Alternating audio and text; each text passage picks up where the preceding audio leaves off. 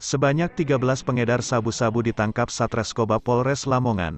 Satu di antara tersangka pernah dipenjara lantaran terlibat kasus pencabulan di Surabaya.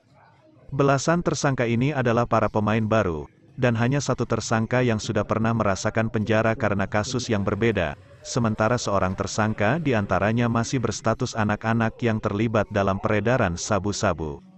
Satu yang pernah terlibat dalam perkara pencabulan, kata Kapolres Lamongan, AKBP Miko Indrayana didampingi Kasat Reskoba, AKP Ahmad Husen saat menggelar rilis, Senin, tanggal 25 April tahun 2022. Diketahui, tersangka R mengedarkan sabu-sabu di wilayah Kecamatan Sugio. Sindikatnya berhasil diendus petugas dan ditangkap ketika sedang bertransaksi dengan calon pembelinya. Tersangka, R hanya mengatakan ia mengedarkan sabu-sabu di Sugio. Karena ada pesanan, ada yang pesan, Katanya singkat, usai keluar penjara dari kasus pencabulan, R langsung beralih untuk bisnis sabu-sabu. Naas baru memulai bisnis haramnya, R ditangkap. Tiga di antara tersangka pengedar sabu-sabu ini, juga mengedarkan pil double L sedang 10 tersangka lainnya, mengedarkan barang haram, khusus sabu-sabu.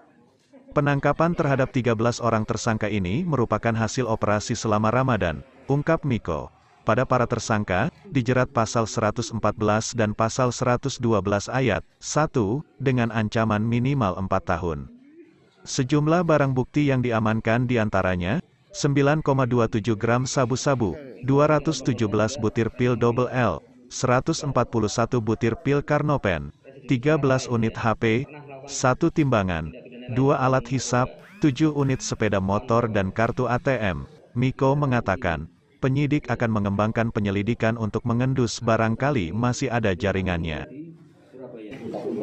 Assalamualaikum warahmatullahi wabarakatuh.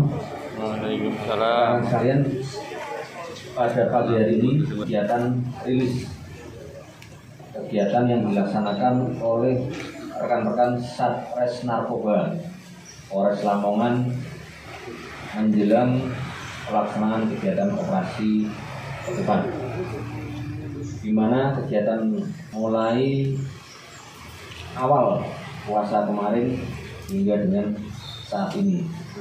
Terima kasih sudah nonton. Jangan lupa like, subscribe, dan share ya.